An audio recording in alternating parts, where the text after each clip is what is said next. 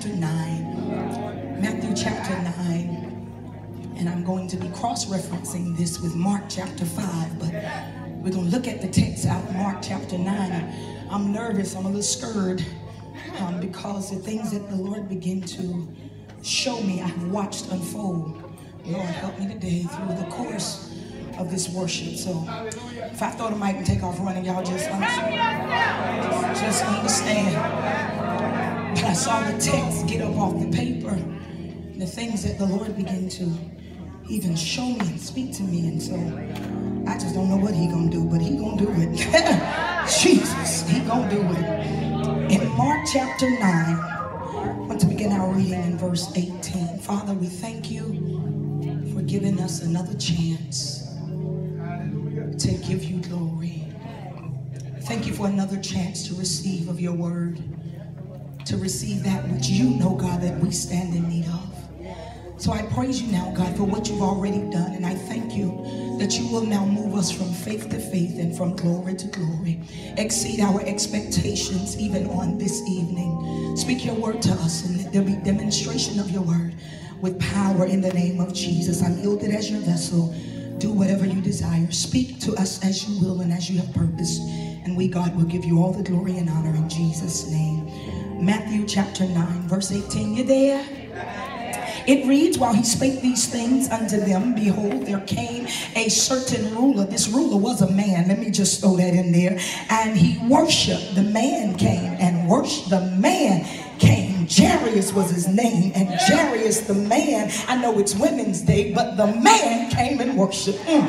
Oh, the man came and worshiped, saying, My daughter is even now dead. Mark would say that he comes to Jesus, he falls at his feet, and he requests of him that I pray thee, uh, Jesus, come lay your hand on my daughter. She's at home and she's dying.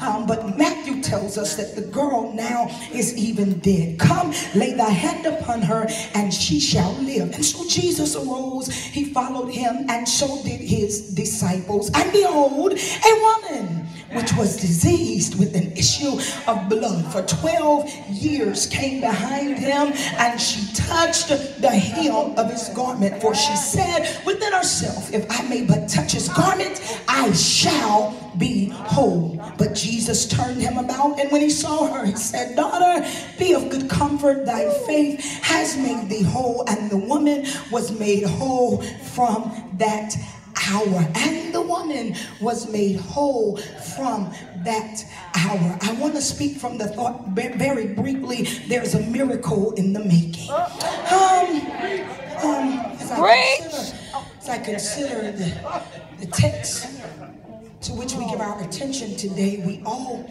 understand the background of this story as according to Matthew and Mark as well. Um, in the text, we see that there is there is great need of the assistance of Jesus. Um, um, it begins with a man who has, according to Mark, a 12 year old little girl at the house. This girl um, I want to consider as the apple of her daddy's eye. Scripture shows me, even according to Luke, that she is the only, she's the only daughter of this man. So, no doubt, because uh, she is the only daughter, the only child, um, there must have been a great deal of devastation or, or frustration or just a great uh, anxiety, a great urgency um, in him to get to Jesus when he now begins to recognize that the situation that my daughter is in has not gotten any better. As a matter of fact, um, if I, the man, don't make a move, y'all gonna get this in a minute. If I, the father, don't make a move, if I don't get myself together enough to where